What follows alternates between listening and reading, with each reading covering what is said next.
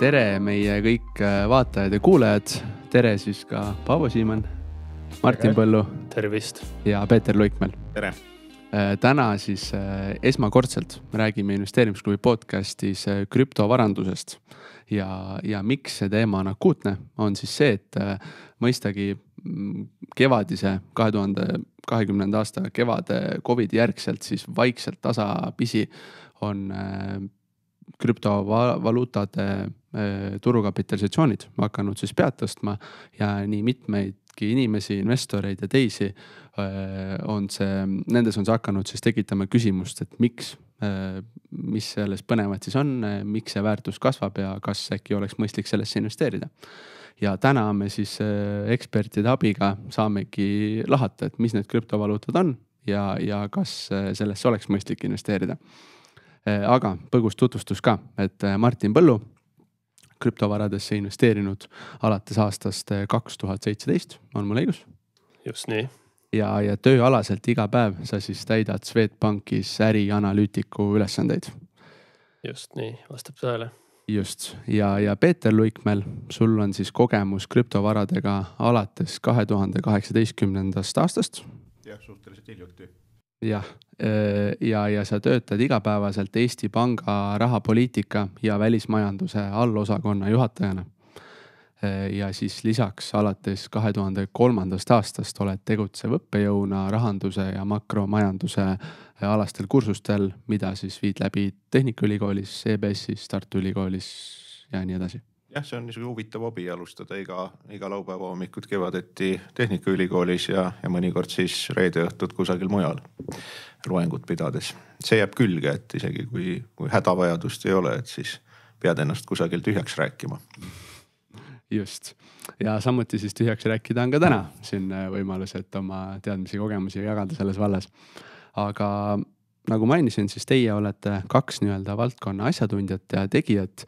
ja teie tegelikult, mis on unikaalne, mis on vahva, et te näete seda maailma mõlemad siis läbi erinevate prismade. et Martin, sina oled aktiivne investor ja, ja Peeter, sina saad lisada oma kogemust ja vaadet institutsioonide, keskpanga ja regulatsiooni vaatenurgast. Peeter saab lisada, miks ta ei ole aktiivne investor.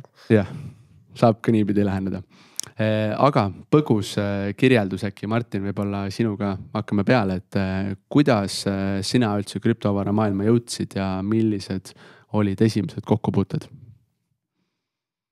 arvan, et see algus nii-öelda tuli juba no selline kaks tuhat kuusteist aasta lõpus, kus ma nii-öelda hakkasin Bitcoini kohta uurima ja üleüldse nii-öelda selline kuhu ta siia maailmas sobitub ja mis sellest edasi saab ja siis nii-öelda, kui oli kaks tuhat seitseteist, siis oli nii-öelda väga suur krüptobuum oli tol aastal ja Bitcoini hind põhimõtteliselt noh, kümnekordistus aastaga.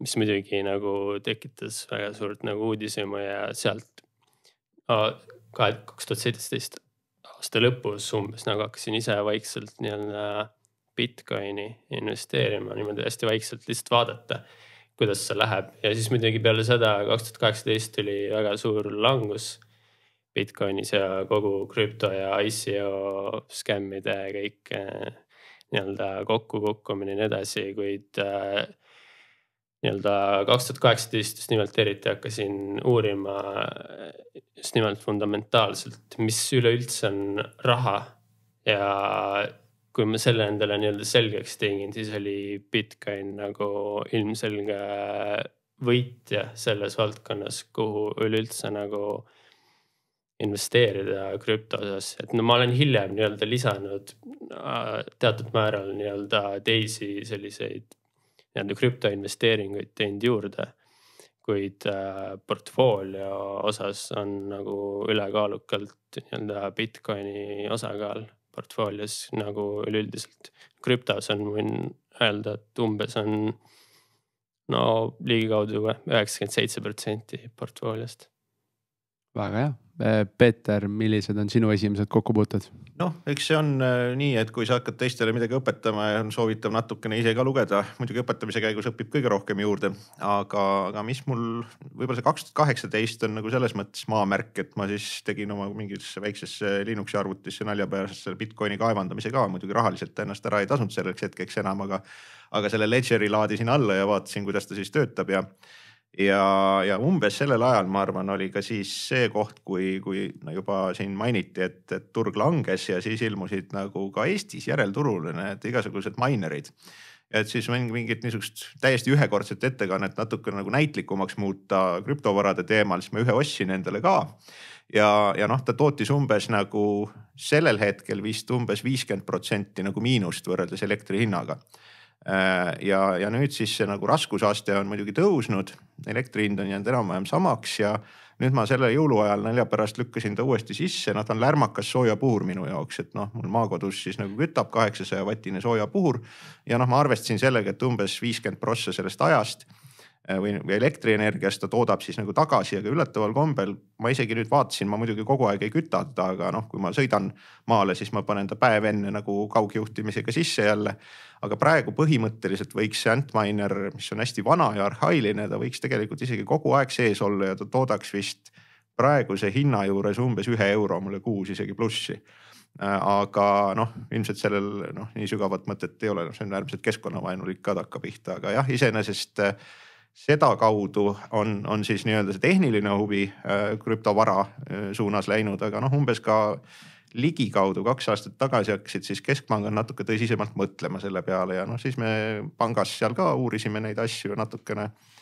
dokumenteerisime ja, ja, ja vaatasime neid võimalusi, tegime vähekene koostööd ka kolleegidega mujalt ja ja noh, avastasime ühe naljaka asja või noh, üsna kummalise asja tegelikult, tegelikult on kõik keskpangad ja ja finantsinstitutsioonid enam-vähem alguses sellega, ehk siis kaks aastat tagasi sellega väga ei tegeletud.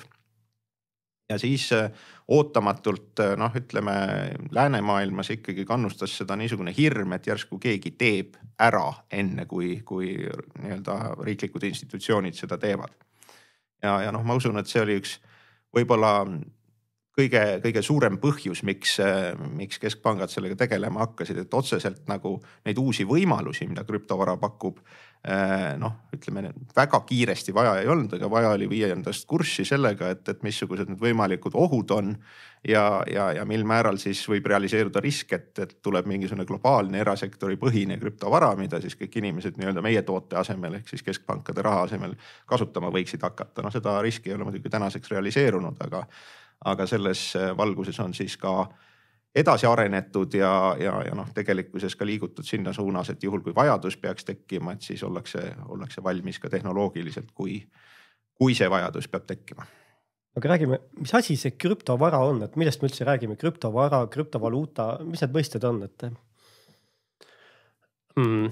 mina isiklikult äh, paneks äh, need nii-öelda kolm äh, sektorit, kolm sektorisse, et äh, üks oleks nii-öelda puhtalt ongi nii-öelda monetaarne vara ehk siis jah, digitaalne raha, Bitcoin. teiseks ma, teiseks kategooriaks täiesti eraldi ma liigitaks nii-öelda krüpto aplikatsioonid, mille alla läheb kõik Ethereum ja kõik nii-öelda sellised äh, Äh, aplikatsiooni tasemel erinevad lahendused, neid on nagu erinevaid sorte ja liike ja alaliike on hästi palju ja konkurente on hästi palju seal, kuid noh, nii-öelda Ethereum on kõige tuntum ja kõige suurem selle osa pealt.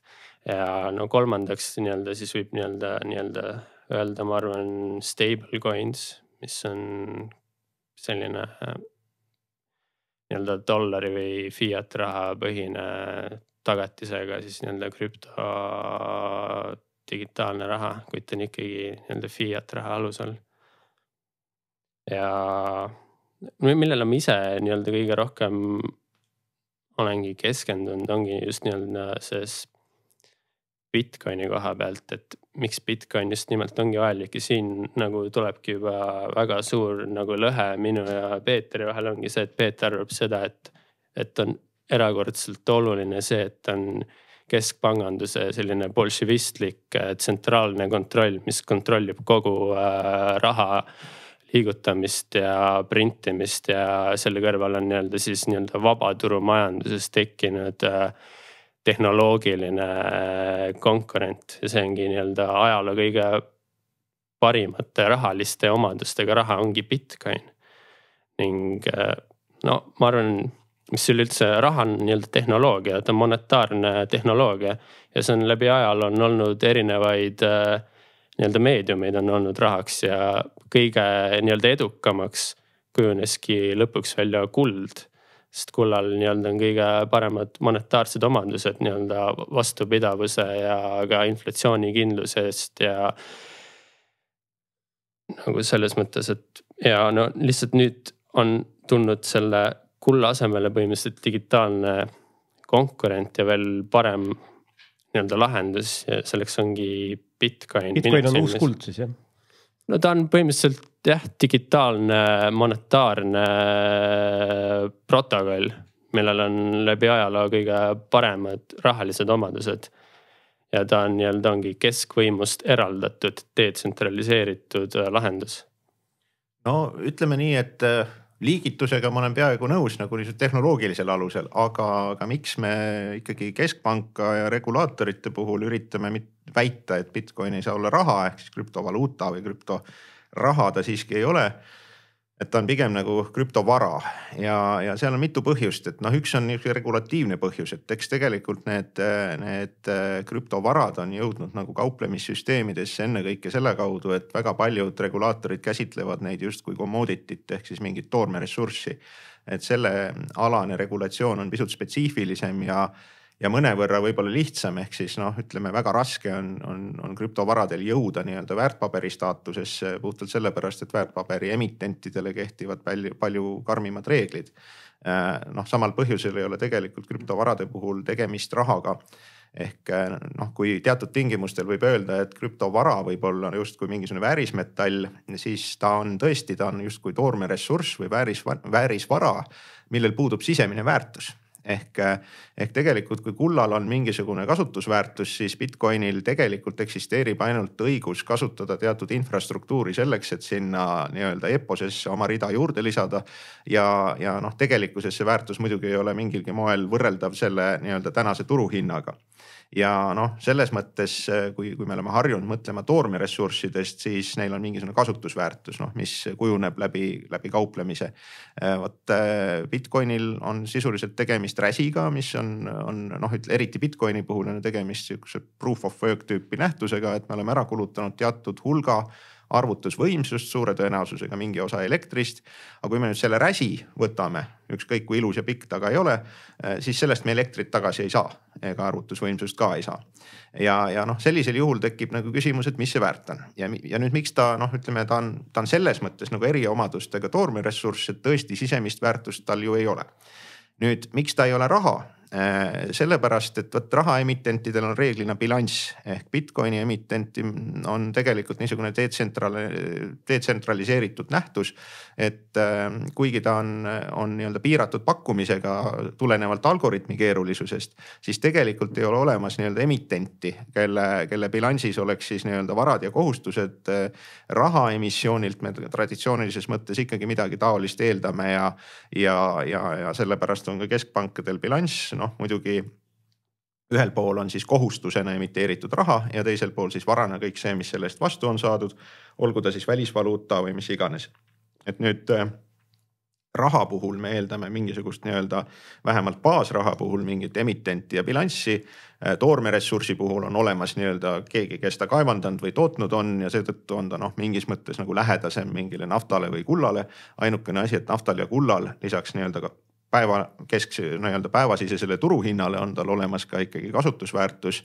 vot selle nii-öelda utility token'i või siis ka Bitcoini puhul noh, on, on tegelikult kogu see kasutusväärtus või kasutatavus äh, muutunud selle hinna äh, nii-öelda revolutsiooni taustal äärmiselt teisejärguliseks, nii et noh, tõenäoliselt kui kui me tänase saate nime tahame panna nii-öelda Bitcoini ledger'isse, me maksame selle eest mingi summa, aga tõenäoliselt noh, ütleme, et, et neid Bitcoin'e selleks kasutatakse ülimalt vähe et, et seda nii-öelda kasutusväärtust äh, rakendada ja kui, kui Bitcoin oleks ainult olemas selle kasutusväärtuse jaoks, siis teda põhimõtteliselt noh, ei oleks vaja. tuleme korra algusesse tagasi, et mis probleemi see Bitcoin lahendama loodi, et? taaskord äh, ma pean kommenteerima teatuid äh, vale ja väärarvamusi, mis praegu väga pika vastusega öeldi. esiteks, Bitcoinil ei ole väärtust Bitcoin muudab elektrienergia monetaarseks energiaks ja Bitcoini väärtus seisnebki selles tema nii-öelda monetaarsetes omadustes ja see ongi kõige olulisem. ma, ma tean seda, et üks Bitcoin võrdub täna üks Bitcoin, kümne aasta pärast üks Bitcoin on üks Bitcoin see on minu ostujõu säilitamine minule järeltulevatele põlvedele ja see muudabki raha väärtuslikuks, miks kuld dominantseks äh, monetaarseks võrgustikuks saigi. ei olnud sellepärast, et kuld on lihtsalt äh, perioodilises tabelis üks element, vaid sellepärast, et tal on kõige paremad monetaarsed omadused ja kõige inflatsioonikindlam, ehk siis see tähendab seda, et raha on kõikide võrgustike aluseks tegemaks tehinguid. ning äh, kui sul on inflatsioonil on raha nagu fiat raha seda on, siis see korrumpeerub kõik nagu äh, kommunikatsiooni ning vabaturumajanduse hinnamehhanismi leidmise totaalselt ära ja rikub nagu täielikult ja tekitadeski kantiloni efekti ja püramiidskeemi, mis fiat rahaga on nii et äh, selles mõttes on nagu täiesti nagu vale väita, et näed, et Bitcoinil ei seisne mingit väärtust. hetkel on kulla turuväärtus maailmas um, umbkaudu kümme trill-, triljonit dollarit. ning äh, Bitcoini turuväärtus on umbes on ju seitsesada miljardit kõigest. ning Bitcoin on äh,, demonetiseerib kulla turuosa ära. ehk siis ta nii-öelda ta loob digitaalse lahenduse raha probleemile, mis on äh, nagu kõige aluseks üldse ja Bitcoini turuväärtus järgneva kümne aasta jooksul saab olema, ma leian, vähemalt kümme korda kõrgem äh, kulla turuväärtusest. sellepärast, et ongi nii-öelda interneti äh, digitaalne monetaarne võrgustik, mis nagu äh, lahendab äh, väga suure probleemi nimega fiat raha äh, monopol noh, siin on nüüd kolm asja, millest võiks rääkida. üks on muidugi see, noh hästi klišeelik, aga tasub ära mainimist, et noh, rahal peab olema mingisugune stabiilne väärtus teiste rahade suhtes, et noh, Bitcoin muidugi on klassikalise niisuguse investeerimisvarana väga kõikuva väärtusega, et, et tehingute tegemiseks ebastabiilne vahetuskurss teiste rahade suhtes ei ole, ei ole praktiline aga teine asi on, on üsna tüüpiliselt räägitakse muidugi kullastandardi ajast ja, ja sellest et, et noh, see tagas nagu niisuguse universaalse vahetatavuse kullastandardi puhul tõesti oli kuld siis rahvusvahelise rahasüsteemi ankruks ähm, üheksateistkümnenda sajandi lõpu ja kahekümnenda alguseni. aga noh, seal on üks väike nüanss, mida võib-olla ei ole nagu headel aegadel ka tähele pandud, aga, aga mida ühiskond järjest rohkem rahalt hakkas ootama, ei olnud mitte ainult stabiilne vahetusvääring kaitse teataval määral siis ostujõu säilitamise motiivil inflatsiooni vastu, vaid tegelikult ühiskond hakkas tasapisi rahalt ootama ka teatavat stabiliseerivat funktsiooni majanduses. ja noh, sellel tugineb ju tegelikult äh, viimase aastasaja keskpanganduse põhiroll, et, et noh, selleni on üsna lihtne jõuda ja on ka jõutud, et, et kuidas tagada keskpanga sõltumatus ja sisuliselt rahaemissiooni kontroll äh, nii-öelda parlamentaarne kontroll kasvõi eh, ehk siis hoida riigi rahandus ja keskpangandus teineteisest lahus. noh, see on kolmsada viiskümmend aastat olnud põhjus, miks keskpangad valitsustest eraldi eksisteerivad, aga järjest rohkem on ikkagi majandust tabanud suuremaid ja väiksemaid kriise ja tavalisi kõikumisi, mille puhul eelarvepoliitika. miks tekivad kriisid? jah, eelarvepoliitika nii-öelda stabiliseerimismehhanismidest ei piisa ja noh, selles mõttes ikkagi see niisugune intressipoliitika, raha pakkumise vähendamine halbadel aegadel suurendamine. kas sa ei mõista seda, et intressipoliitika just nimelt tekitabki kriise no,? see on maailmavaateline küsimus, aga. see aga, ei ole maailmavaateline küsimus, see on nagu, fakt. üks, üks asi, mida kuld tegelikult kahekümnenda sajandi esimesel poolel ja, ja mida tõenäoliselt ka piiratud pakkumisega Bitcoin ei suuda nagu saavutada, on see, et tegelikult on vaja rahakoguse, baasrahakoguse nii-öelda kõikumise teel majandust stabiliseerida ja kullastandardi üks lõpupõhjuseid oli ju tegelikult ka see, et tootlikkus ja kogutoodang maailmas kasvas kiiremini kui kulla kogus ja see viis automaatselt tegelikult hindade langusele ehk deflatsioonile. Noh, mis üldiselt majandusele on, on peaaegu sama ohtlik või ohtlikumgi veel kui mõõdukas inflatsioon äh,. ei ole nii, ma taaskord ei nõustu sellega. deflatsioon on äh, kogu inimkonna ajaloo aluseks selles mõttes, et tehnoloogia on deflatsiooniline. Kasvõi see mikrofon, millest me praegu räägime, mis juhtub, kui ma hakkan tegema mikrofoni? Ja ma teen väga head mikrofoni ja mul on palju ostjaid tekib. Ja siis tuled sina ning hakkad tegema konkureerivat mikrofoni, mis juhtub mikrofoni hinnaga? see hind läheb alla, see on kogu äh, ühiskonna ajaloos äh, toimuv nähtus, ongi deflatsioon. Ning deflatsioon on toonud just nimelt äh, kõrgema elustandardi ning rikkuse ja mugavuse. üheksateistkümnes sajand kullastandardi ajastul on ju ilma inflatsioonita, deflatsiooniline keskkond äh, kogu sajandi peale, kus ei olnud, on ju põhimõtteliselt mitte ühtegi fiat valuuta kokkukukkumist ega hüperinflatsiooni, mis viimase sajandi jooksul on, on ju toimunud üle poolesaja korra ning mina leian seda, et kasvõi üks hüperinflatsiooniline olukord ei ole väärt seda, mis on see lubadus fiat rahana. ja sinu väide, et on keskpangandus kuidagi eraldatud või ja seetõttu tagatakse vaba majandus, see on nagu täiesti nagu täiesti alusetu väide, sellepärast et just nimelt vaba turumajandusel põhinev raha, mis kullastandard oli nagu tagas üheksateistkümnendal sajandil ajaloo kõige kiirema inimkonna progressi. kõik meie tänase päeva mugavus ja infrastruktuuri ning ühiskonna alused üheksateistkümnendal sajandil loodud kullastandardi ajastul on ju no sisuliselt ei oleks kaasaegset rahandust, kui meil ei oleks nii-öelda, kui meil oleks siiamaani kullastandard. ja noh, teine asi, et. miks tekkis kulla, miks tekkis üldse fiat raha ja keskpangandus, see oli sellepärast, et kõik kuld põhimõtteliselt tsentraliseeriti ning see andis võimu keskpankadele no,. keskpangandus tekkis kuueteistkümnendal sajandil, nii et tegelikult oli ta juba õige mitu aega olnud selleks ajaks, kui kui see palju kiidetud tehnoloogiline progress tuli ja noh, samas see on muidugi huvitav väide, et, et tehnoloogia areng on deflatsiooniline, et noh, teatud mõttes eh, on see tõsi, aga vot küsimus ongi üksikute toodete hinnalanguses, eh, suhteliste hindade muutumises, mis toimub kogu aeg seoses sellega, et teatud asju on ühtäkki odavam toota. ja teine asi on see üldine hinnalangus majanduses, mis on ohtlik sest noh, kui me, kui me täna neid nii-öelda juba, juba mainitud mikrofone, kui me teaksime, et need maksaksid kuu aja pärast vähem, siis me ostaksime nad ju kuu aja pärast. see ei vasta tõele, et ma ostaks hiljem, kas ostad enda nutitelefoni hiljem no,, sellepärast et sul on aasta pärast no, äh, sama hinna eest kaks korda võimsam. majandus ikkagi toiminud. selle loogika kui... põhjal, miks mitte ja. ükski inimene ei läheks sooduskampaania ajal poodi, sest uh, miks ma peaks minema, kui ma saan kallimalt osta. ei, vastupidi, ehk kui sa tead, et sa saad homme odavamalt osta selle Bitcoini, siis sa ostad selle pigem homme kui täna või siis ka mõne reaalse aktiva, ehk siis eh, majandusel on ikkagi. me kõik näeme, mis äh, nimelt deflatsioonilistes äh, nii-öelda sektorites on. kas iPhone'id on nagu järjekorrad uksele? ei no siin sa räägid suhteliste hindade muutumisest. kuskohast tekib üldse inflatsioon, see tekib nii-öelda sektorites, mis on just nimelt keskpanga poolt rikutud monetaarse poliitika nii-öelda sektorites kinnisvara, aktsiad, kõik see, mis ma sooviks osta, see muutub äh, kordades kallimaks, noh see no, ei ole.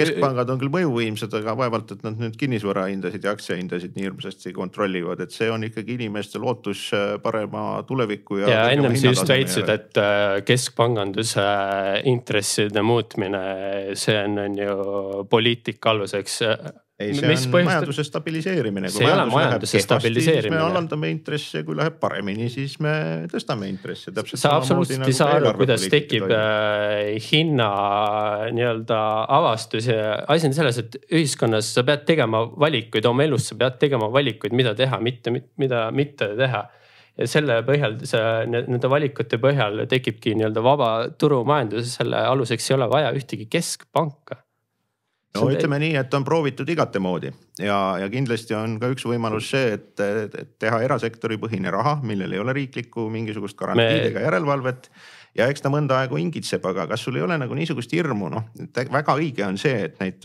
krüptovarasid on, on täna ikkagi üle kahe tuhande erineva.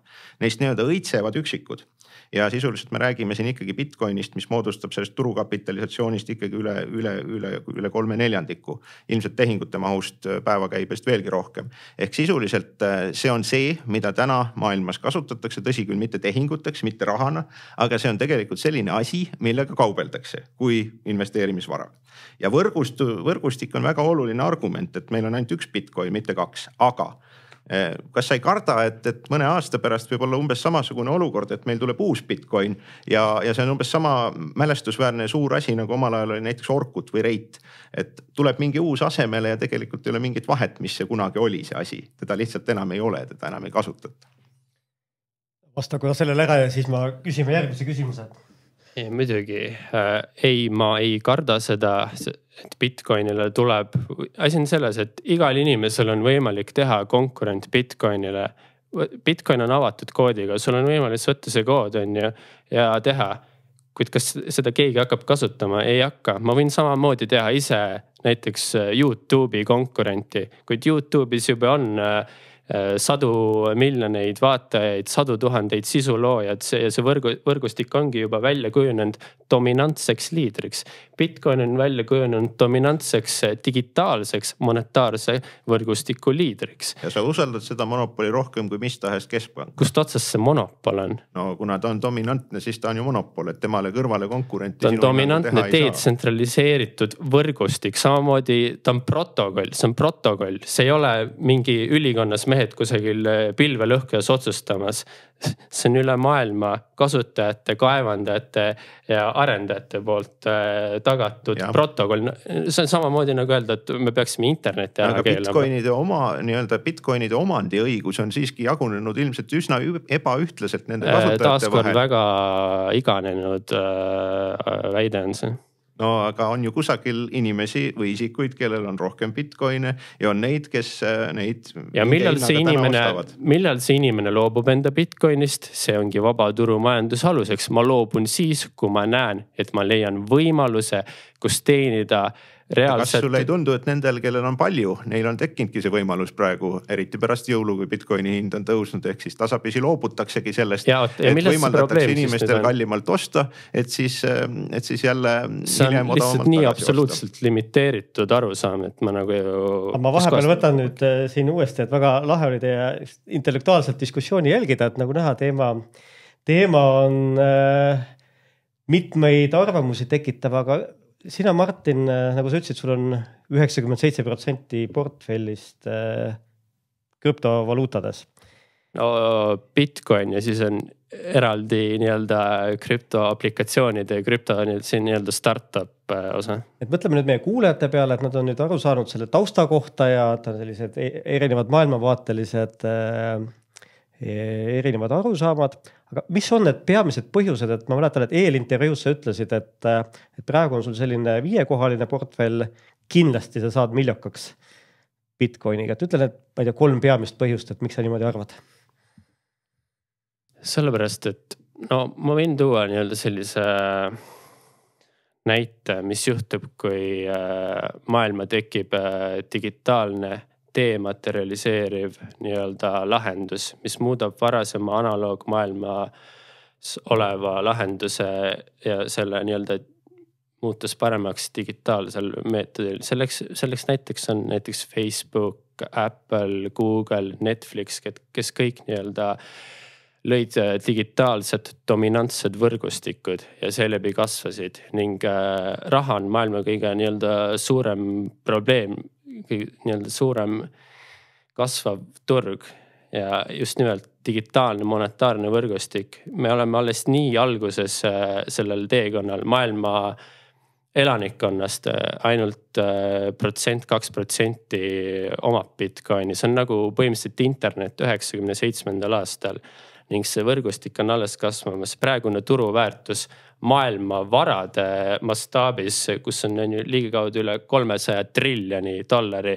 kõik on ju aktsiad, võlakirjade, kinnisvara äh, kohalt on Bitcoin täiesti miniatuurne ning kasvõi ennemgi toodud äh, kulla turuväärtuse koha pealt, et kulla turuväärtus on on ju kümme triljonit, siis äh, kuld dematerialiseerib äh, nii-öelda kulla ning see saab olema vähemalt äh, minu silmis kümme korda suurema turuväärtusega kui kuld ainuüksi. sinu põhitees on see, et ma tean, et sa ei kauple, et ehk siis sa. ei, ma ei kauple ja ma ei kavatse paned... Bitcoini fiat äh, vastu eales mitte teha, sest see oleks sama kui osta Titanicule pilet peale seda, kui ta jäämäega kokku põrkas. nii et äh, sina usud, et need Bitcoinid, mis sa ostad, et nende väärtus kasvab sinu eluaja jooksul nii kiiresti, et teatud hea. Bitcoin saavutab äh, erakordselt suure turuosa maailma varade mastaabis sellepärast, et see annab inimestele võimaluse, see annab inimestele võimaluse pääseda fiat raha monetaarsest inflatsioonist. Peeter, sina ei, sul ei ole Bitcoini jah? Äh, Bitcoini mul praegu küll ei ole jah, aga, aga noh, siin ongi see konks, et, et noh, võrgustumine on hea asi ja üks tehnoloogia on hea küll, aga kusagil ja siiani veel ebaselgelt on ju kusagil need, kellel on teda palju. Nüüd me tegelikult alustasime ka sellest, et mis probleemi see Bitcoin lahendab et eh, ta lahendab väga paljuski kuritegeliku maailma jaoks erinevaid probleeme. ei vasta ja, tõele, no, see on sama see... nagu süüdistada, et internetti kasutasid et... esimesena kriminaalid ja mobiile kasutasid esimesena kriminaalid. ei no loomulikult me saame luua mingisugused maaklerid sinna vahele, kes tegelevad siis kliendi vastavuskontrolli ja kõige muuga, aga noh, ütleme üks põhjus, miks teda väga levida ei lasta või, või noh, isegi kui kasutajad tahaksid teda maksesüsteemina kasutada, on ikkagi see, et me peame kusagile need politseinikud sättima, et, et, et noh. täna ikkagi väga suur hulk pettuseid toimub läbi Bitcoini ja, ja muuseas üks, üks huvitav omadus, mis on Bitcoinil juurde tulnud, mis teatud määral kuriteo ohvreid isegi võib natukene teistmoodi käituma panna, on ju see, et tegelikult need Bitcoinide nii-öelda käibed on avalikud. ehk siis äh, kui siin on need lunavara episoodid olnud, kus sisuliselt need. siis kelle, just nimelt kriminaal ei soovi kasutada Bitcoini. maailma no, fiat äh, aastane no, rahapesu maht on kaks triljonit dollarit ja on, sa tuled rääkima no,, et Bitcoin on kuritegevus no,. ma segan natuke vahele, et äkki las Peeter lõpetab mõtte ära, siis Martin. see uus olukord, mida noh, Bitcoin kui maksesüsteem tekitab kuritegevuse jaoks on see et kui sul on nüüd kõvakütas nii-öelda krüpteeritud, noh, sult küsitakse mingit raha sa tegelikult noh, oled kõhkleval seisukohal, kas seda maksta või mitte, aga samas sa näed reaalajas, kuidas teised sinna kannavad raha. ja vot see võib mõjutada inimeste käitumist ja on juba mõjutanud ka ja noh, see võib olla manipulatsioon, aga igal juhul see, et sa näed, kuidas kurjategija juba teenib selle nii-öelda väljapressimise pealt raha ja, ja keegi ei saa mitte midagi teha, see muutub selle, muudab selle ohvri nii-öelda olukorda ja rolli pisut teistsuguseks ja võib panna teda isegi suurema tõenäosusega seda raha nii-öelda sinna kontole kandma. kuna ta näeb, et teised seda teevad. ehk siis tegelikult muutub niisugune väljapressimine ja, ja, ja, ja noh, see olukord tunduvalt teistsugusemaks, et, et, et, et see küsimus, mis ohvril reeglil on, kas ainult mina olen nagu kõhklevas, kas raha kanda või mitte kanda, ega teised nagunii ei kanna. et seda on võimalik nii-öelda reaalajas näha, kuidas teised ohvrid ka nii-öelda nii-öelda kannavad. see võib isegi teatud, teatud mastaabis seda pettuse äri, äri isegi suurendada ja teine aspekt on loomulikult see anonüümsus, mis sinna juurde käib, et et noh, ühiskond aktsepteerib privaatsust kui väärtust, aga see ei pruugi tähendada anonüümsust. paratamatult äh, nende nii-öelda disaini elemendiks, nende krüptovarade disaini elemendiks on väga sageli ikkagi selle anonüümsuse tagamine, äh, privaatsuse nii-öelda väärtuse selja taga ja, ja noh, privaatsus ei tähenda ju kaasaegses ühiskonnas anonüümsust, et, et noh, tegelikult see nii-öelda Bitcoin pakub nii-öelda tavainimesele natukene liiga palju äh, ja kurjategijatele nii-öelda meeldivalt palju niisuguseid võimalusi. et noh, üks, üks niisugune huvitav põhjus, miks võib-olla see niisugune krüpto varade või, või kui mõelda nagu krüptorahade juba emiteerimist, miks ei ole läänemaailmas väga levinud. On, on pigem see, et meie maksesüsteemid täna võimaldavad kasutajale enam-vähem seda, mida vaja, et meil on Euroopas nii-öelda nii välkmaksed kui kaardimaksed kõik olemas. et see nii-öelda offline token, et see jae, jaerakendus selle kõige otsas, et ta võib tõesti toimida kusagil Bahamal, kus, kus sisuliselt anti nii-öelda käibele üks, üks niisugune token'i sarnane asi. aga, aga lääne ühiskonnas täna seda väga ei ole vaja ja noh, mida see ühiskond kaotab, kui, kui nüüd üle minna niisugusele nii-öelda anonüümsusel põhinevale privaatsusele. tegelikult võib juhtuda, et ta kaotab päris palju nii-öelda stabiilsuse näol, ehk siis tegelikult hakkavad toimuma kuriteod, mida tänases maailmas ei ole, mida on suudetud ära hoida ja, ja rahapesu tõkestamise kõikide teiste meetmete abil. ja, ja noh, küsimus on selles, et see nii-öelda kasu sellest, et kui, kui ühendust ei ole, sa saad maksta või see kasu, et, et sinu jaoks on nii-öelda privaatsus anonüümsuse kaudu tagatud maksesüsteemis. et, et see kasu on võib-olla tänasele kasutajale pehmelt öeldes nagu tagasihoidlik selle kõrval, mis, mis ühiskond võib kaotada läbi kuritegevuse või rahapesu laiema leviku. ja, ja see nii-öelda kaalumine või, või see saldo, see tasakaal võib olla erinevatel ühiskondadel väga erinev. aga, aga lihtsalt suhteliselt välja arenenud online maksete puhul ei ole hetkel seda probleemi, mida selline nii-öelda offline anonüümne token ilmtingimata peaks lahendama. võib-olla mingil, mingis olukorras see võib tekkida. nii, aga Peeter, mis peaks juhtuma, et Bitcoini väärtus nulli lähedale kukuks? noh, ütleme nii, et ma isegi pole proovinud, kas orkut.com veel vastab, aga, aga kõik teismelised on vist kolinud Facebooki, et üks, üks täiesti reaalne võimalus on ikkagi see, et, et tuleb mingisugune uus asi ja, ja vana asi unustatakse ära. Äh, loomulikult tehnoloogia on universaalne ja esimesel tulejal on väga palju eeliseid. et, et selles mõttes äh, võib öelda, et Bitcoinil on teatav väärtus ja see kaheksa kohta peale koma võimaldab ka seda, et noh, võib-olla tulevikus saab teda stabiilsema väärtuse puhul kasutada arveldusena. aga aga noh, see peamine risk on ikkagi seotud eh, noh, nii-öelda võimalike tehnoloogiliste riskidega, võimalik, et see tehnoloogia on mõnda aega kuulikindel. Eh, teine asi on see, et, et tuleb konkurent ja kolmas, mis on võib-olla isegi kõige, kõige loogilisem selles, selles kontekstis on ikkagi see, et juhtub midagi nende nii-öelda kohtadega, kus täna see nii-öelda Bitcoin kohtub päris rahaga ehk äh, on võimalik, et mingisugused kauplemissüsteemid osutuvad petturlikeks, inimesed on sinna pannud liiga palju raha ja, ja noh, see raha ei ole vahetatav. no neid riske saab minimeerida, et noh, et selle päris raha ja, ja, ja Bitcoini krüptovara kohtumispunkti on, on tegelikult nagu noh, seda aega on võimalik vähendada, et sul ei pea olema kuskil esindaja või maakleri kontol see pool aastat see raha.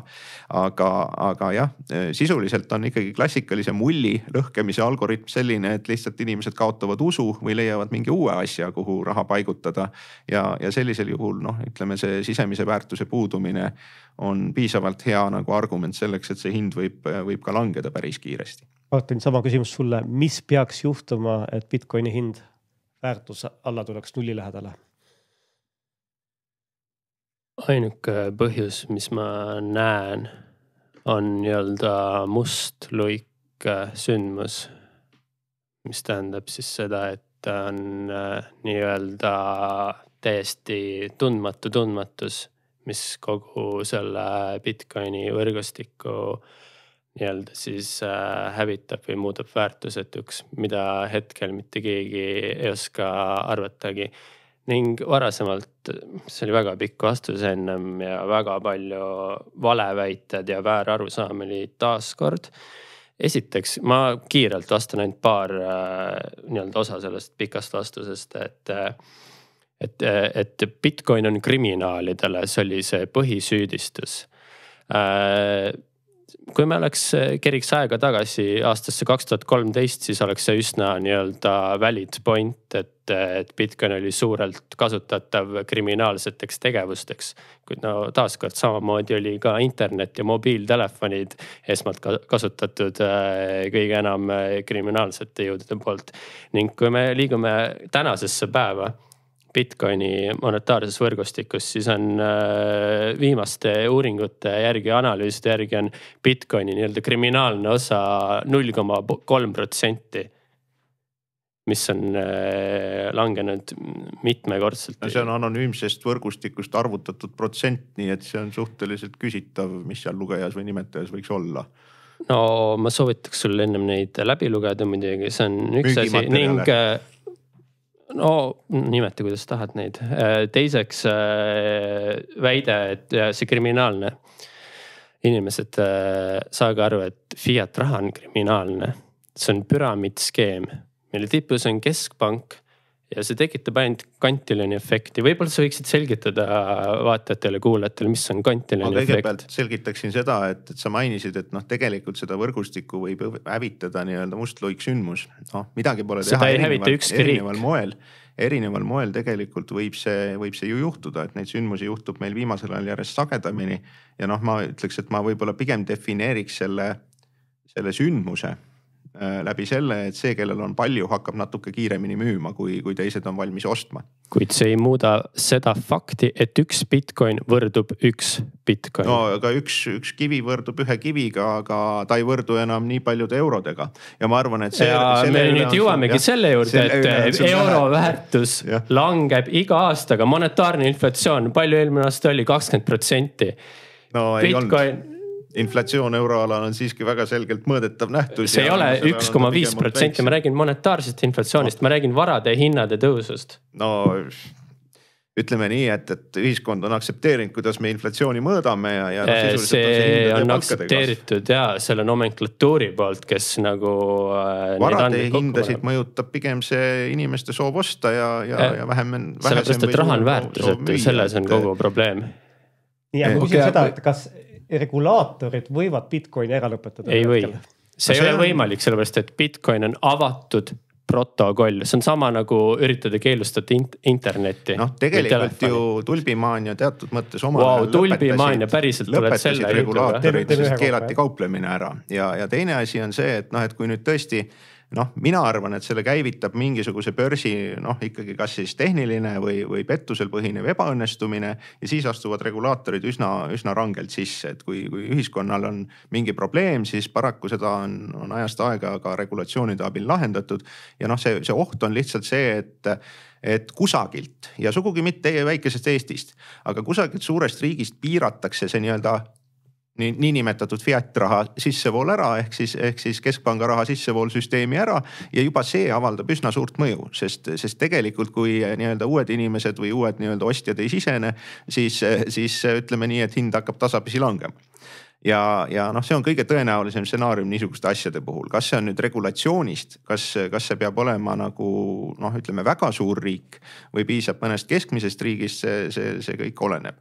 aga niipea kui, kui tekivad niisugused noh, nii-öelda tarbijakaitselikud aspektid asjale juurde, et inimesed ongi liiga suure osa oma rahast, olgu see siis üheksakümmend seitse protsenti või rohkem või vähem pannud sellele nii-öelda varale, millel puudub sisemine väärtus, siis tekib probleem, et mida need inimesed siis. me taaskord ennem rääkisime väärtusest, mis annab Bitcoinile väärtuse, siiamaani nagu sa ilmselgelt ei saanud aru sellest no Bitcoinile annab väärtuse usk.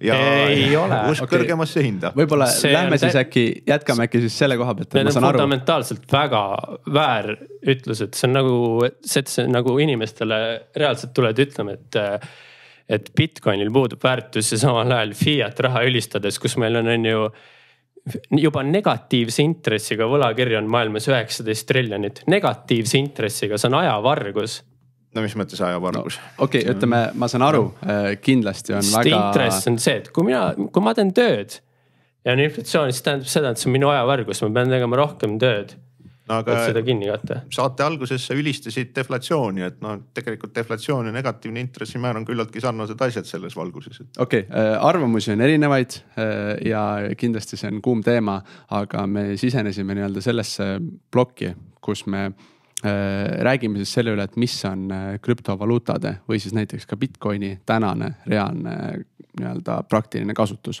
et siit käis läbi väide, et nii-öelda see on mingil väiksel määral seotud kriminaaltegevusega, aga eh, võib-olla Martin, saad sa täpsustada või anda meile ja kuulajatele seda teavet siis, et eh, kus täna eh, seda praktikas kasutatakse või mis on tema tänane jah, siis praktiline kasutus?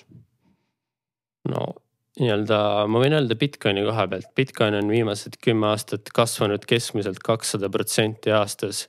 Ja see on nagu, ah fenomenaalne ning see jätkab äh, järgnev kümnend täpselt samamoodi, sama tempoga. ning mis selle hetkel nii-öelda kasutusvaldkond ongi, ongi nii äh, ostujõu säilitamine, monetaarne, digitaalne energia, see on raha ning äh, see läheb äh, ning kes seda hetkel kasutusele aina enam on rohkem hakanud võtma ja ongi enam institutsioone, investeerimisfonde. et äh, Fiatist väljuda, sest Fiat on väärtusetu. ning äh, samamoodi on see elupäästjaks näiteks Venezuelas, Liibanonis, Argentiinas kõikides hüperinflatsioonilistes riikides on see inimestele elupäästjaks olnud enda ostujõu säilitamisel. saad sa äkki täpsustada seda protsessi natuke, et kuidas, kuidas milles see väljendub, et see nende nii-öelda päästerõngas olnud seal piirkondades? Äh, no Venezuela miljoniprotsendiline inflatsioon, ma arvan, päris selgelt väljendub seda või Argentiina viimase kahe aasta viiekümne protsendine inflatsioon on ju või ostujõu kaotus või eelmise aasta Liibanonis sajaprotsendiline inflatsioon ja fiat raha põrumine. taaskord fiat raha hüperinflatsioonilisi olukordi on olnud üle poole, üle poolesaja korra viimase sajandi jooksul ning see on fiat raha ilmselge põrumine ning euro ei ole mingi mingil moel erinev näiteks Argentiina peesost või Venezuela bolivarist, et kas inflatsioon on rassistlik, et on ainult Ladina, Ladina-Ameerikas või Aafrikas või ei ole euro on samamoodi fiat raha nagu kõik need teisedki fiat rahad ja, ja fiat raha on samamoodi väärtusetu. no kui ebaõnnestunud keskpank enamasti riigi survel hakkab äh, trükkima raha juurde, tekib inflatsioon, siis noh, see on ilmselgelt halb asi ja, ja selle vastu aitab üksnes see, kui riigis valitseb seadus ja kord ja töö on jaotatud. aga, aga mis on muidugi huvitav, on see jah, et et kui tavalises olukorras noh, rahasüsteem kokku kukub, ega ühiskonnale, sellele riigile pole elanikele see viimane päev. Ja, ja mida inimesed ju teevad, nad lähevad üle siis mingisugusele kaubale või välisvaluutale ehk siis see dollariseerumine toimub maailmas kogu aeg. ja nüüd äh, huvitav on see väide, et, et äh, teatud mõttes selle asemel, et arveldada bensiinis, viinapudelites või siis mõne teise riigi rahas, dollaris, võivad inimesed tõesti kasutada teatud määral arveldusteks ka Bitcoini või mõnda krüptoraha ja, ja noh, sellel on teatud potentsiaal, ehk siis selle asemel, et minna nii-öelda sularaha dollarile või sularaha eurole üle vähem arenenud riikides, juhul kui rahasüsteem parasjagu jälle kokku kukub, seda paraku juhtub seal ühe inimpõlve jooksul tõesti mitmeid kordi.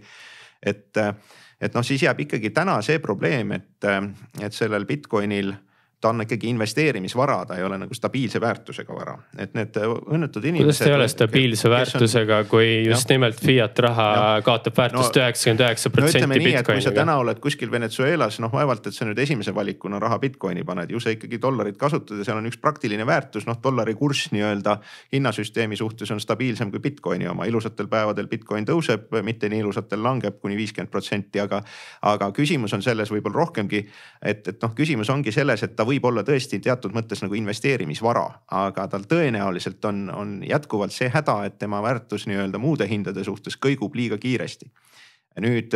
Bitcoin on, ongi hetkel hinnaavastusfaasis, kasvufaasis, see on süüdistada, et Bitcoin äh, no, ei olnud ühe päevaga. kuskil Venezuelas pensionär, kes kõigepealt on kaotanud oma säästud ja siis oma palka hakkab kuskile panema, siis mina soovitaks talle ikkagi mingisugust nii-öelda dollarit. kui ma ütleksin talle Bitcoin, siis ta järgmine päev, kui Bitcoin on parasjagu kolmandiku võrra langenud, oleks minuga päris kuri.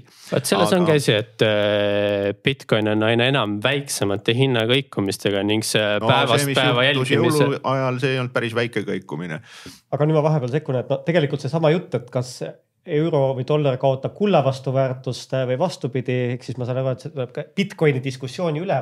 aga kuna meil on siin palju jaeinvestoreid vaatamas ja kuulamas, et nad mõtlevad, et kas on, kas osa oma portfellist Bitcoini panna või panna nagu, ma ei tea, mõned inimesed ütleks, et panna hullu nagu Martin tegi, et, et et äh, ongi enamik portfelli Bitcoinis, et noh, ma kujutan ette, Martin, oled sa nõus, et äh, enamik inimesi, kes on siin Eestis kirjutanud finantskirjaoskuse õpikuid, rahvast harinud, äh, nad saavad südari, kui nad praegu vaatavad meie saadet, et sul on üheksakümmend seitse protsenti rahast krüptovaluutades.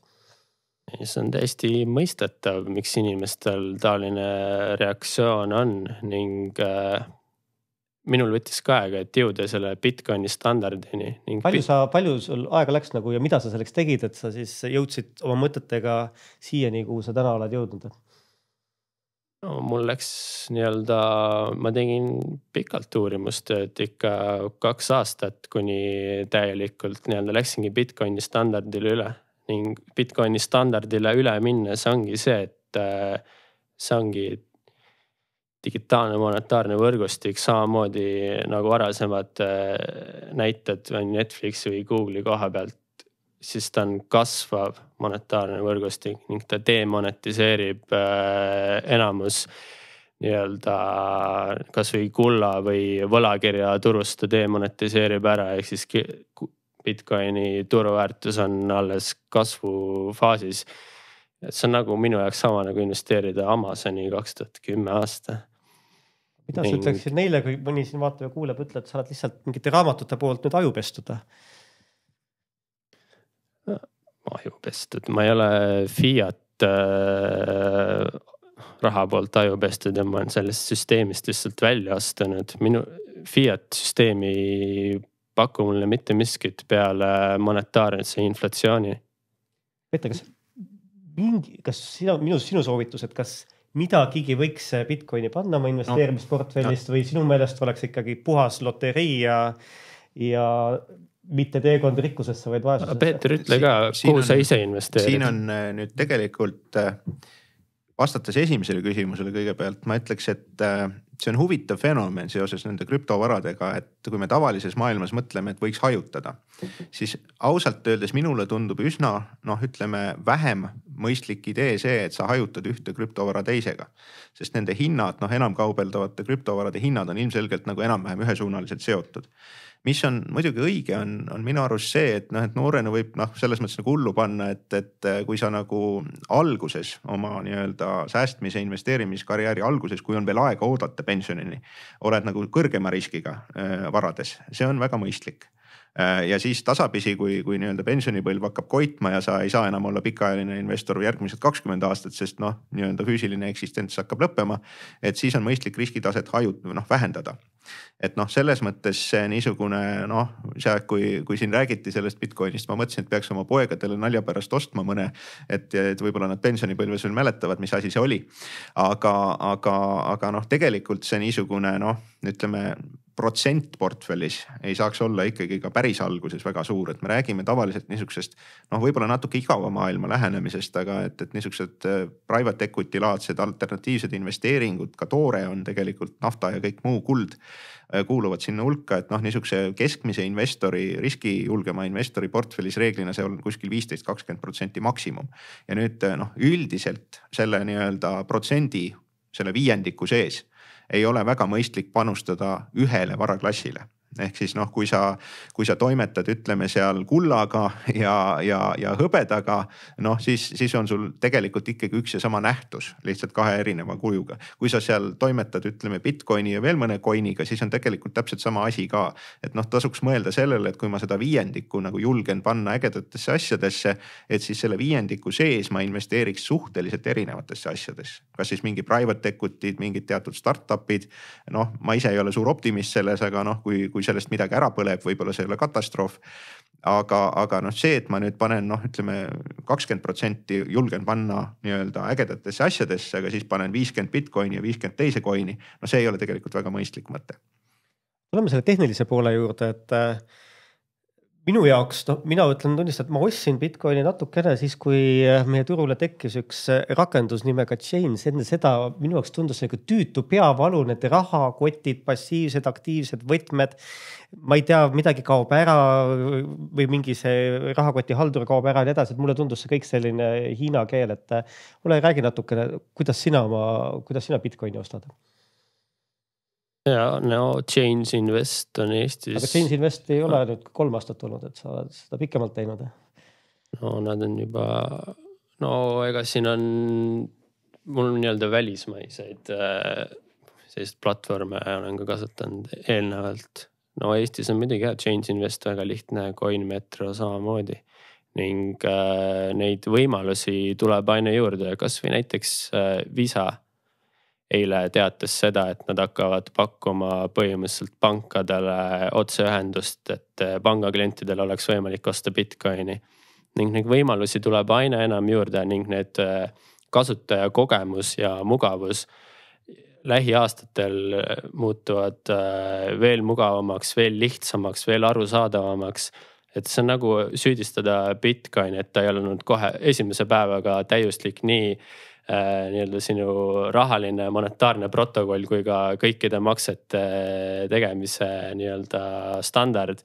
Siis see on nagu väga algeline väide, sest kõik, mida aasta edasi sai, seda aina enam paremaks ja mugavamaks kõik muutub. mis või... arvata, CoinXP ja kõik sellised äh, fondid, mida nüüd pangad ja, on toonud tooteid turule? ja no nüüd on fondid ka tulnud tõepoolest on ju LHV kaudu on võimalik kasvõi enda kasvukontole lisada Bitcoini fond ja sinu igapäevastelt ostudelt võid on ju eurosid eh, panna väga mugavalt Bitcoini ja välismaal on juba paljud eh, krediitkaardid Bitcoin eh, nii-öelda reward idega.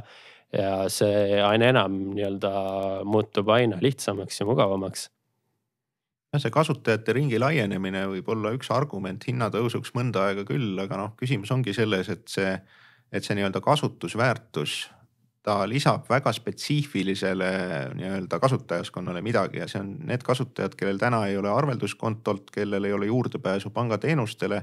no teatud piirkondades võib neid tõesti päris palju olla. aga siin on noh, ilmselt üks aspekt on veel see, et et kui palju ja kuidas siis kogu seda võrgustikku saab usaldada neid, kes seal nii-öelda Bitcoini ja pärisraha piiri peal opereerivad. See on tegelikult üks, üks väga keeruliselt nii-öelda noh lahendatav küsimus, et, et noh, ütleme üks, üks teema on see, et regulaator võib seal sekkuda et mingil hetkel siis piiratakse see nii-öelda päris raha sissevool Bitcoini turule. aga teine võimalus on, on tegelikult ka see, et, et noh, ütleme see, see osa maailmast, kes täna ei kasuta elektroonilisi arveldusi, et nendeni jõuavad need nii-öelda vanamoodsad elektroonilised arveldused kiiremini. et noh, tegelikult ju noh tänases olukorras Euroopas meil noh, me saame makstud ka ilma Bitcoinita, võib-olla kusagil Aafrikas veel hästi ei saaks. ja noh, siis ongi see teema, et, et noh kuna, kuna pangad ja keskpangad ei, ei kasuta täna sellist tehnoloogiat, et sa mobiilist saad nii-öelda keskpanga rahaga maksta. et, et siis see noh, võimalik nii-öelda krüptovarapõhine lahendus on justkui tehnoloogiliselt kättesaadavam. samas noh, nendes riikides, kus, kus nii-öelda sularaha kättesaadavus või elektrooniliste maksete kättesaadavus on piiratud. noh, ei ole midagi lihtsamat, kui, kui teha siis mingisugune keskpanga raha, millel on, on tegelikult siis ka riiklik monopol ja, ja, ja teistpidi ka riiklik garantii, mille emitendil on bilanss eh, nagu ikka keskpanga rahal. Ja sellisel juhul noh, seda hakkavad kasutama kõik, kellel on mobiiltelefon, et me oleme teatud nagu maailmas jõudnud olukorda, kus inimestel on juba mobiiltelefon ja ei ole arvelduskontot et, et noh, sisuliselt ei ole midagi lihtsamat, kui neile see nii-öelda vana pangasüsteem selle telefoni kaudu kätte tuua ja, ja kui see probleem nagu lahendub niimoodi, nagu ta tegelikult enamikes riikides ongi lahendunud. et noh, siis jällegi noh, mingi eelis sellel Bitcoinil võib, võib kaduda. aga noh, lõpetuseks ma ütleks võib-olla veel seda, et, et et see tegelikult ka see niisugune Bitcoini tehnoloogia või krüptovara tehnoloogia, ta võib muuta seda, kuidas ühiskonnad toimivad nagu populistide küüsis. et noh, üks asi on see, et populistid nagu reeglina loovad mingi oma teooria, millele noh, mis vastandub sellele, mis olemas on. ja, ja noh, heal juhul pööratakse kas siis mõneks aastaks või, või, või sajandiks ka riiki. aga nüüd üks asi, mis on noh, mõnes mõttes nagu neid protsesse, neid populistlikke revolutsioone piiranud, on see et see vana maailm tugineb paberrahal.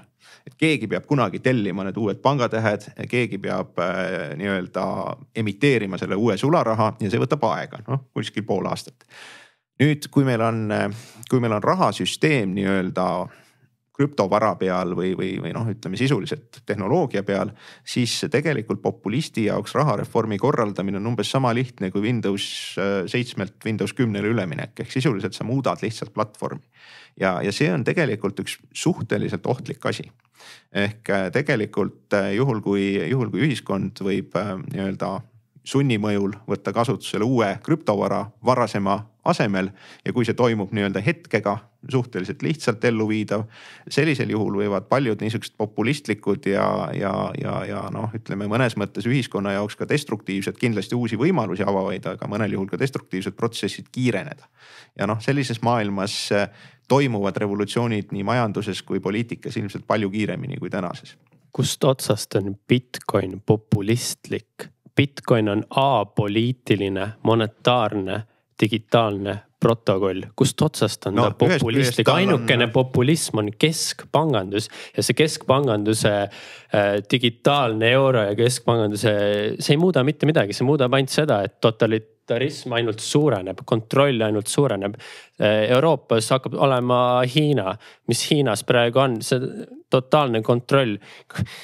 minusugused, kes mingi selle süsteemi vastu midagi hakkavad kobisema ma kaon lihtsalt ära. Ja see, see toobki äh, keskpanganduse selle digitaalse äh, fiat raha tulemi, tulek toob ka ainult selle, et suureneb totaalne kontroll kõige üle ning vabaduse totaalne kaotus jah, üks populismi olulisi tunnuseid ongi see, et on olemas niisuguse olemasolevale korraldusele väikeste shortcut idega, aga väga selgelt vastanduv lugu, mis lükkab kogu maailma, senise maailma pea peale ja muudab ta äärmiselt kahjulikuks ja ohtlikuks, et noh, keskpangad on kolmsada viiskümmend aastat olnud, Bitcoin on ma ütlen, mis on ohtlik. USA dollari üheksakümne üheksa koma üheksa protsendiline ostujõu kaotus sajandiga, see on ohtlik. aga Peeter, kas selgita korra välja, et läheb küll teemast välja, aga no hea keskpanga taustaga inimese, inimese käest küsida, et kas raha juurdetrükiga me nüüd lahendame kõik probleemid ära, mis majanduses tekivad? noh, see on äh, tänaseks juba ka triljonite ühikute küsimus, et äh, loomulikult ei lahenda. rahasüsteem saab teatud hetkedel majandusele natukene tuge pakkuda läbi investeeringute soodustamise ja teistel hetkedel jälle pidurit tõmmata, ega rahasüsteem ei muuda meid äh, tootlikumaks. ja, ja noh, põhiline probleem, noh, miks ütleme, see ambitsioon, mis on, on olnud nii-öelda riikidel, tuleneb nagu väga pikast niisugusest probleemi kuhjumisest ja see on tegelikult tootlikkuse langusega meil siin viimase neljakümne aasta jooksul, noh, Bitcoin on tore asi, aga, aga, aga tegelikult noh, mingeid niisuguseid tehnoloogilisi innovatsioone pole olnud, mis oluliselt nii-öelda inimeste tootlikkust oleks suurendanud. ja, ja noh, selles valguses see niisugune mõningane stagnatsioon, mis on, on toimunud ka enne suurt finantskriisi, et noh, see on tasapisi jätkunud et mida noh, mida tegelikult eelarve ja rahapoliitika abil saab lahendada, on niisugused väiksemad kõikumised. seekord oli kõikumine suurem kui tavaliselt ja õnneks, õnnetuseks tuli ka järgmine kohe järgi. et noh, sisuliselt äh, rahaemissioon on aidanud ära hoida seda, mis suure depressiooni ajal nii-öelda tegemata jäi, ehk siis tegelikult äh, tol ajal äh, siis äh, maailmasõdade vahel tekkinud majandussurutis, mis tegelikult omas mõju nii-öelda tööpuuduse ja, ja, ja kogutoodangu langusele aastakümneid.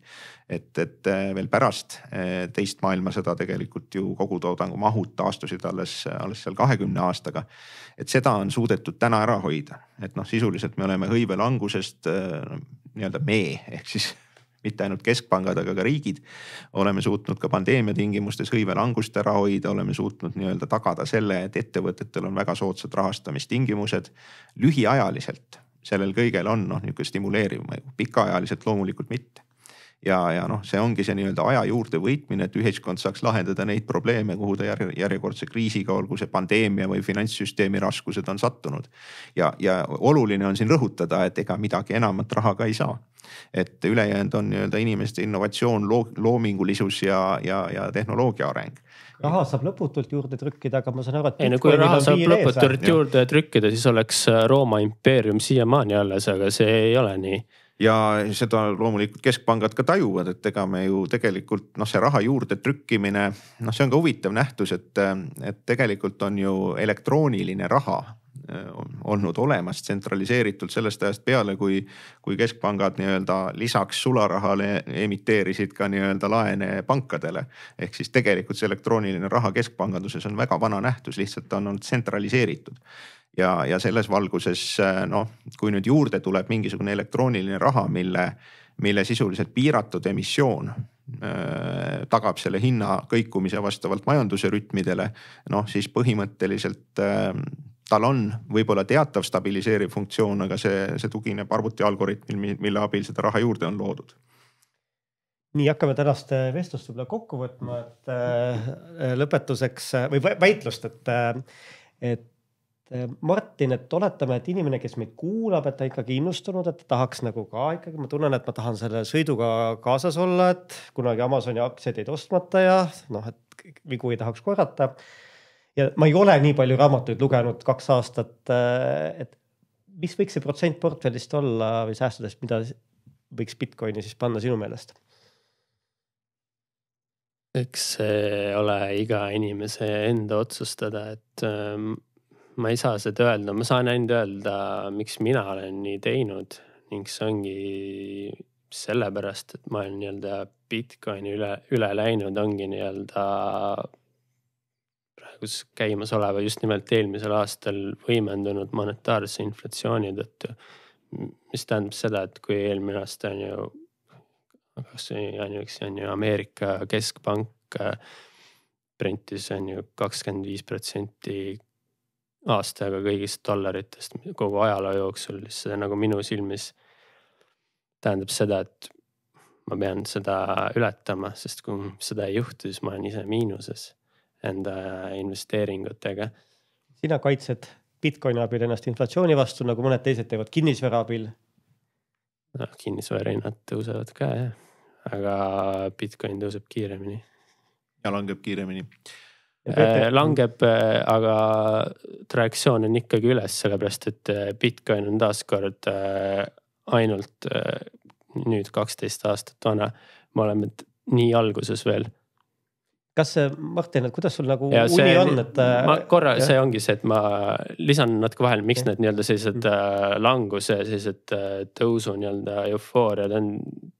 see on nii-öelda osalt nii-öelda tingitud ka sellest nii-öelda Bitcoini protokolli sellest disainist ja poolitamisest, et iga nelja aasta tagant äh, väheneb siis poole võrra juurde kaevandatavad Bitcoinide selline preemia kaevandajatele, see nii-öelda muudab äh, pakkumist ja aina enam nõudluse suurenemise tõttu tuleb ka nii-öelda on see hinnatõus läbi selle kümnendi jooksul olnud ja nii-öelda sellised kukkumised, mis tõepoolest ennem on olnud äh, kahel korral on Bitcoini väärtus on ju kaheksakümmend protsenti kukkunud. kuid mida enam, aina enam selle võrgustiku suurenedes muutuvad ka sellised languse protsendid äh, aina väiksemaks, nii et ma kui pigem. kui see Bitcoin pole isegi iseenda hinda selle algoritmi abil suutnud stabiliseerida, siis kui mõelda, et kui ta kunagi oleks dominantne, siis kuidas ta suudaks stabiliseerida majandust? me ei suuda, taaskord me ei saa luua ühe päevaga võrgustikku valmis see võrgustik on äh, nii-öelda evolutsioonis, see on arenemas me ei saagi eeldada seda, et Bitcoin ühe päevaga oleks koheselt saja triljonilise turuväärtusega, absoluutselt stabiilne, suurepärase Bitcoini äh, maksete teenuse layer'iga veel juurde lisatud, ülemaailmsete koheste maksete ja kõigega, see, see ei juhtu. aga mida aasta edasi, sai aina enam uuendusi, parandusi nii-öelda Bitcoini võimekus aina suureneb, kasvõi Bitcoin nii-öelda second layer, teine kiht on ju lightning network äh, maksete võimaldamisel, see kõik on aina enam tulemas juurde. Bitcoin on enda hinna avastamisfaasis, demonetiseerides äh, väärtusetud varaklasse. mida, Martin, mida ma peaksin minimaalselt Bitcoinist teadma, enne kui ma esimese investeeringu teen sinna? see on hea küsimus. kuid see kehtib kõigi investeeringute kohta, et et äh, iga inimene peab jah, ongi nii-öelda selgeks tegema, miks ta midagi ostab ja jõudma täiesti selgusele. ning minu jaoks ongi see puhtalt äh, Bitcoini nii-öelda väärtuses, monetaarses äh, protokollis seisnev väärtus, ta tagab digitaalse monetaarse protokolli ja see on läbi ajaloo tagatuim raha, mis on eales loodud ja minu jaoks on see nagu alles tõepoolest nende hinna avastamisfaasi üsna algusfaasis veel. ja ma küsiks äkki sihukese tehnilise küsimuse ka sinna vahele, et me oleme meediast lugenud ja kuulnud äh, lugudest, kus ütleme isegi kui mul noh, ma soovin Bitcoini näiteks investeerida, aga hapuks läheb seal vahel, kus mängu tuleb mingisugune exchange äh, või siis platvorm, eks yeah. ole. ja selgub, et okei okay,, see oli pahatahtlike eesmärkidega loodud ja tegelikult nii-öelda ebaturvaline. ja seetõttu siis mul tekkis väga suur risk, et mida ma saaksin investorina teha, et veenduda, et see exchange, mida ma kasutan see on päriselt äh, soliidne ja mõistlik asi, mitte mu sinna kantud rahad, kas siis Bitcoinides või euros või dollaris äh, minema pühitakse lihtsalt. see on jah, väga õige küsimus ja tulebki teha uurimistööd ning võrreldagi erinevaid platvorme, kasutaja kogemusi, kommentaare, ajalugu, kui kaua nad on olnud enamus sellised põhilised suured äh, nii-öelda platvormid, nad on, nad on väga turvalised ja reguleeritud ning äh, hea kasutajakogemusega. ning äh, läänemaailma, Ameerika, Euroopaski tegutsevad platvormid on nagu väga selles mõttes, et nagu korralikud. ma ei oska muu maailma platvormide kohta öelda, kuid ma arvan, et eestlane arvatavasti kui võtabki kasvõi Change Investi või CoinMetro, siis ta saab väga hea teenuse sealt no telefonimüüjatele ei maksa ikkagi reageerida, et äh, tegelikult on ju Eestis päris palju neid nii-öelda Läti ja muu äh, riikide numbreid, kus helistatakse, helistati mullegi siin vahepeal ja mul oli täitsa oma sõber, kellega ma peaaegu iga õhtu rääkisin. järjest alguses oli müügikõne ja siis hakkas järjest nagu analüütilisemaks minema see asi.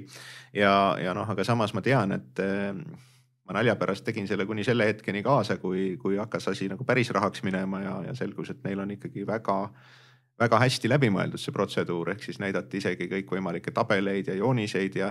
ja, ja noh, ma tahan ikka igal juhul hoiatada selle eest, et, et kui keegi teile tänava peal või telefoni teel tuleb mingisugust krüptovara pakkuma, siis jumala eest ärge ostke. Äh, nad võivad juhendada ka täiesti äh, teemakauget inimest selleni, kuidas see raha lõpuks nendeni üle kanda. Nad võivad näidata ka pool aastat väga ilusat tootlust, sest seni kuni inimene nagu ei näe reaalselt ei võta raha tagasi. seni tegelikult ei ole sellel pettuse operaatoril mingit probleemi, et äh, ma olen, ma olen vestelnud inimestega kes on sisuliselt nagu hästi uhked selle üle, et nad on krüptovarasse investeerinud ja nad on aasta või kaks uhked.